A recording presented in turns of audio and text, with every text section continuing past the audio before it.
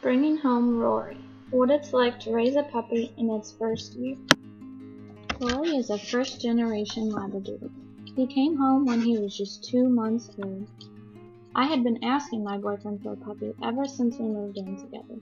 I was so happy when we finally got one. Rory was a lot of work at first. Sometimes I worried we had bit off more than we could chew, but I knew it would soon be all worth it. I couldn't get over the innocent look he always had on his face, and I knew I could never stay mad at him when he had an accident in the apartment. Rory loved car rides from day one.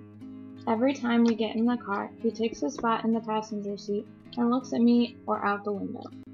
His favorite spot, though, is his daddy's lap. There's something about that that is oh so comfortable. Rory loves to spend time outside. Every chance we get to lounge in the grass or go for a walk, we take full advantage of. He is the happiest puppy ever when we're spending time outside, even if it's raining or snowing.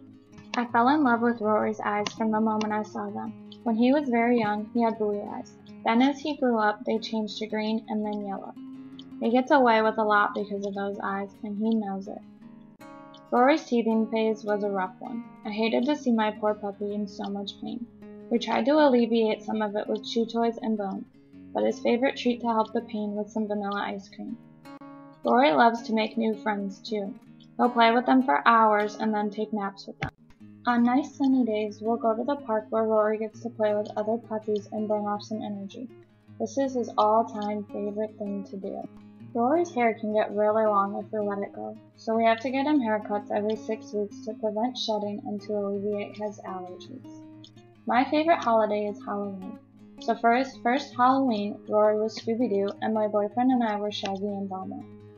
Rory is the most destructive puppy I know. No matter how many different kinds of toys we get him, he always finds a way to rip them to shreds. He's also incredibly nosy and always has to know what's going on outside.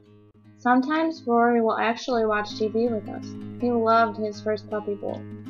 Every now and then, Rory gets annoyed that I take so many pictures of him, and he'll give me the look.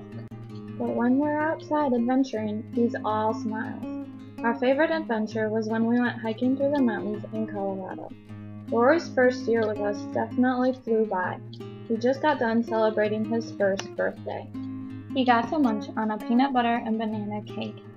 He might not technically be a puppy anymore, but one thing's for sure, he's still a huge puppy at heart.